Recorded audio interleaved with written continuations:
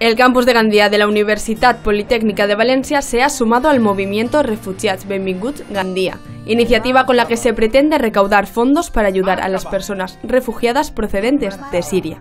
Eh, des d'un primer moment van hi haure eh, part de professorat, alumnat i personal d'administració i serveis que eh, es van sensibilitzar en aquest problema i van dir que la universitat, el campus de Gandia, tenia que estar també ahí.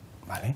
Eh, des d'aquest moment pues, bueno, hem posat a l'abast de la gent que, que, que està organitzant i portant endavant pues, tot este, este, este acte del cap de setmana per a aportar pues, lo que des de la universitat podem aportar a aquest escenari. Para promover este evento festivo que tendrá lugar mañana, sábado 24 de octubre, en el Parque San Pere de Gandía, los estudiantes de Ciencias Ambientales impartirán talleres de sensibilización dirigidos a las familias.